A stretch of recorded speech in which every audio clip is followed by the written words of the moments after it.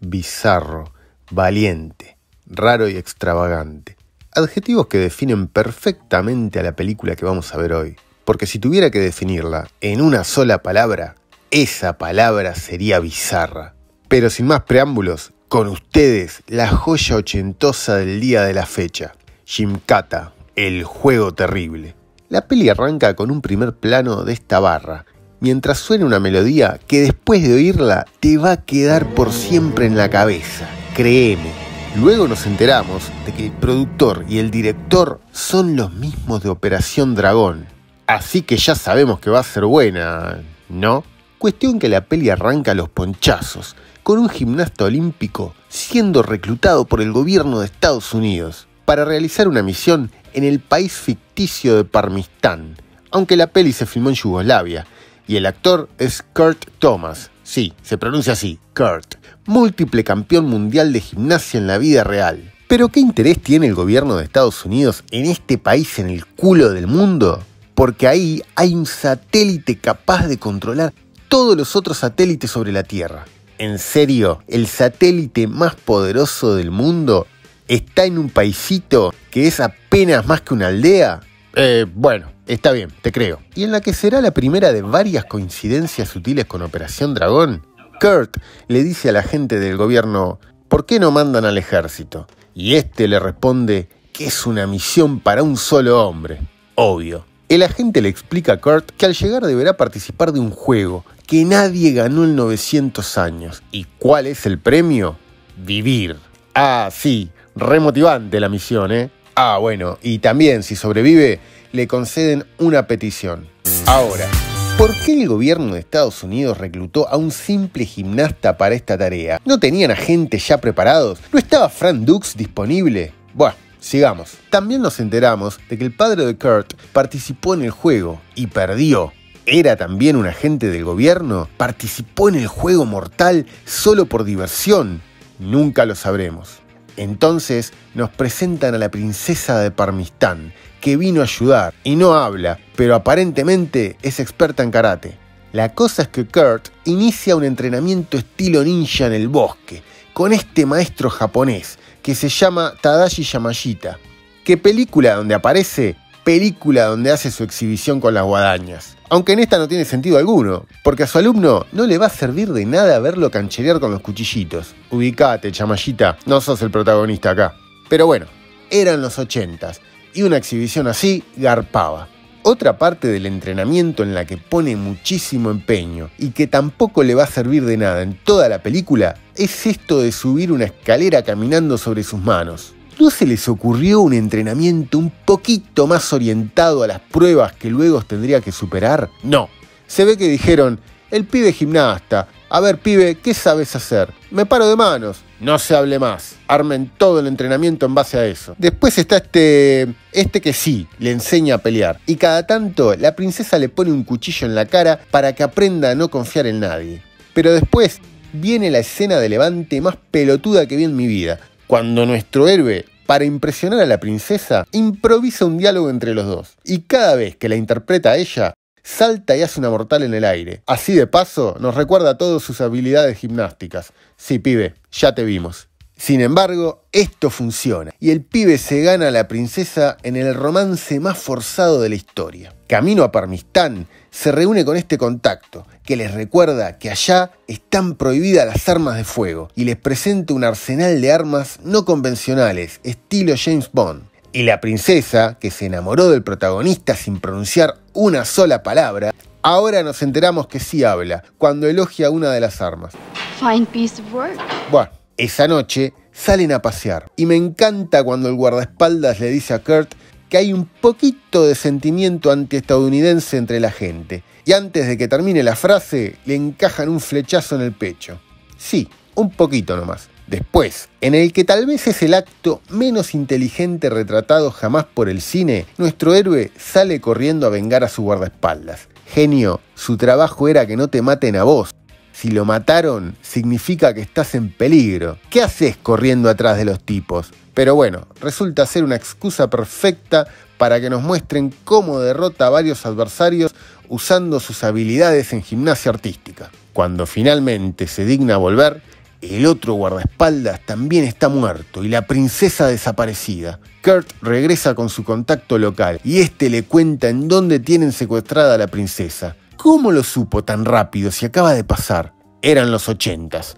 La gente simplemente sacaba conclusiones a la velocidad de la luz. Durante el rescate, nos vuelven a regalar una escena donde el actor hace uso de sus capacidades físicas para vencer a sus oponentes. Enseguida llega a esta casa, donde justo el secuestrador le está explicando a la princesa que piensa usarla para extorsionar a su padre, el rey, a cambio del trono. El secuestrador tiene una K-47 sobre el escritorio, pero el custodio que lo protege tiene un hacha, y con esta cicatriz en la cara, me imagino que si nos hubieran revelado su nombre, sería Igor. Para completar el combo de la bizarrez, Kurt supera a Igor y a otros dos guardaespaldas que curiosamente portan dagas para custodiar a su líder, que tiene un fusil automático. Igor reaparece justo a tiempo para ser acribillado por su jefe, que se come un golpe de karate a la garganta, para ser terminado con una ráfaga de ametralladora. Nuestros héroes escapan, pero son perseguidos por un montón de truanes, que ahora sí tienen todos ametralladoras. ¿Me querés decir cómo vas a hacer para esconderte? Sos yankee hasta la manija, rubio, tenés un buzo rojo y estás con la princesa huyendo a pie de asesinos armados y con auto. ¡Es imposible! ¡Es imposible! Pero no hay ráfaga de ametralladora capaz de alcanzar a un americano de Norteamérica. Y nuestros héroes consiguen llegar a su contacto, pero sorpresa, sorpresa, es un traidor. Pero no se preocupen, aparece la gente que lo reclutó y lo salva. ¿Qué aportó toda esta escena a la trama? Absolutamente nada, pero nos regaló unas secuencias de acción recopantes, así que el clásico aprueba. Al amanecer, completan el resto del trayecto en Muli Canoa porque no alcanza con participar de un juego mortal que nadie ganó y cuyo único premio es vivir. No, no, no, no, no, no, no. Para poder llegar te tenés que comer un viaje de mierda. ¿Me explicás por qué la princesa se expone a todo esto? ¿No podía ser que el padre les mandara un avión o algo? Cuando llegan, son recibidos por estos verdugos ninja. Y nuestro estimado Yankee no tiene mejor idea que ponerse él mismo en medio de ellos a pelear. ¿Cómo creíste que podía terminar esto, genio? You went full retard, man. Never go full retard. Cuando despierta del golpe, lo recibe Samir, que es la mano derecha del rey, pero en realidad es un traidor que quiere quedarse con el trono. Y bueno, con esta cara de copado le dice bienvenido. Luego conocemos al rey, que después te vas a dar cuenta de que es tremendo pelotudo, porque va a andar por ahí haciéndose el malo y gritando chambala cada dos por tres, mientras su segundo al mando le serrucha el piso, y sus tropas no le dan bola. Pero bueno, acá les explica el juego a los participantes y les aclara que cualquiera que rompa una regla será asesinado de inmediato. ¡Qué lindo! Me dieron ganas de jugar. Para que te des cuenta lo mierda que es el juego, a estos tres criminales, en vez de matarlos directamente, les permiten jugar. ¿Entendés de lo que hablo? Básicamente, el juego es una carrera de obstáculos mortal, con los verduninjas persiguiéndote. Y si te atrasás, te bajan de un flechazo. Y si no te atrasás, también. Esa noche hay un banquete bizarro, muy parecido a... Bueno, sigamos. Entonces aparece el pelotudo este con cara de feliz cumpleaños, sabiendo que el 99% de sus invitados van a morir al día siguiente. Kurt le pregunta por su padre, que también participó del juego, pero el rey le dice que murió. Luego mencionan por segunda vez que deberán pasar por una aldea donde envían a los locos y los criminales, y donde parece que además hay caníbales. Luego de esto, el rey anuncia que casará a su hija con Samir, y esto no le cabe ni un poco a Kurt. Cuando Samir se da cuenta de que la princesa y Kurt están intercambiando miraditas, decide intimidarlo con una exhibición de size, similar a la que hizo en Octágono Ninja. Ah, sí, porque el actor es el experto en artes marciales Richard Norton, que participó de varias de las mejores películas de Chuck Norris. No importa un carajo, tómatela. Más tarde esa noche, la princesa le cuenta que Samir tiene pensado hacer el juego tan violento que nadie pueda ganar. Pero nuestro héroe le dice que él va a ganar. Claro, chiquita, te olvidas que estás hablando con un americano de Estados Unidos de América. Al otro día, todo está listo para que comience el juego. ¿Ves lo que te digo? Este es el país que tiene un satélite superior al de cualquier otro país en el mundo. ¿En serio? Comienza el juego y enseguida Samir demuestra que tiene más poder que su rey. En esta pared bajan un tipo de un flechazo. Pero Samir decide que para matar a Kurt la mejor idea es quemarle la soga. Y por supuesto, eso le da tiempo a nuestro héroe para escapar. A medida que avanza el juego, los participantes van siendo asesinados por los verduninjas, que se saltan todas las reglas. Y como si eso no fuera suficiente, a este grandote se le da por asesinar a sus competidores. Por suerte, el entrenamiento ninja de nuestro rubio da frutos y logra oír el sonido de una flecha que viene por detrás y esquivarla a tiempo para que den el gigantón. Y si ya te está pareciendo bizarra la peli, prepárate, porque viene la mejor parte, la villa de los locos. Lo primero que vemos es a este viejo afilando una guadaña, escena que bien podría ser sacada de una cárcel argentina. Y ya nos va diciendo que la cosa se va a poner fea. Después lo ataca un loco con una hoz, que al no poderlo vencer se corta la mano.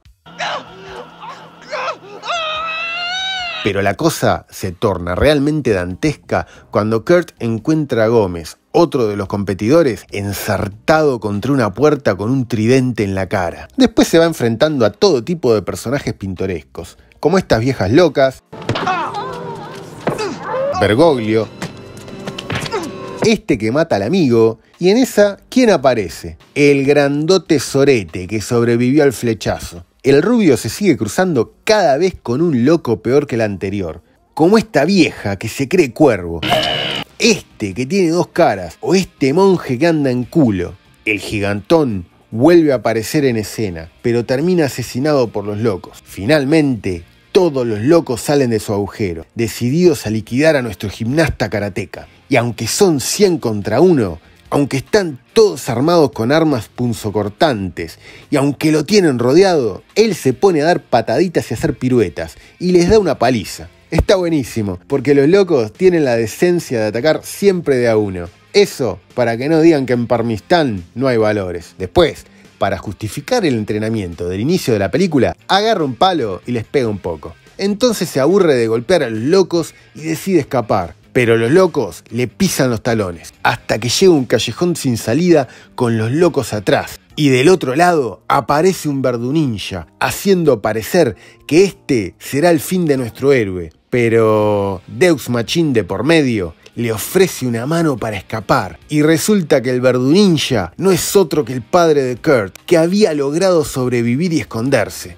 En el palacio, la princesa logra que el monigote este acepte que fue traicionado por sus hombres. Y justo en medio de este abrazo nos matan al papá de Jason. Digo, Jonathan, bueno, Kurt, eh, el yankee, vos entendés. Nuestro héroe hace que Samir lo persiga, y cuando sus hombres, que antes eran como 20 y ahora son solo 3, no se atreven a saltar un obstáculo con sus caballos, Samir queda convenientemente solo. Y es acá que se da lugar la lucha mano a mano entre el héroe y el villano de toda película de acción que se digne de serla. Y gracias a esas habilidades marciales que todos sabemos que te da la gimnasia artística, Kurt le quiebra el cuello a Samir. En el palacio, el rey y la princesa se liberan a fuerza de patadas y golpes de espada. Luego, apelando a la lealtad del pueblo de Parmistán, consiguen superar a los guardias traidores. Y justo en ese momento, nuestro héroe emerge victorioso y con su papá, que no había muerto, solo estaba herido. Y la película termina acá, con esta imagen congelada del protagonista y la princesa, y este texto abajo a modo de datos reales, viste esos que aparecen cuando la película está basada en una historia real, pero que literalmente dice, en 1985, la primera estación de advertencia terrestre fue ubicada en Parmistán para el programa de defensa de la Guerra de las Galaxias de Estados Unidos. En serio, dice eso. ¿Qué carajo me importa? Parmistán ni siquiera es un país real. ¿De qué carajo me sirve esta información ficticia al final de la película? Ya está, ganaron los buenos. Fin. ¿Qué te pareció Jimkata? ¿Valió la pena tu precioso tiempo? ¿Te dieron ganas de convertirte en un gimnasta para salvar a tu país y vivir aventuras increíbles? Si la respuesta es sí, déjamelo saber en los comentarios. Dame mi bien merecido like y ayúdame compartiendo este video y dándote una vuelta por el canal, donde vas a encontrar otros resúmenes tan buenos como este. Ah, sí, y suscríbete para no perderte la próxima vez que viaje en el tiempo hasta los años 80 para desempolvar otra joya como esta. Nos vemos.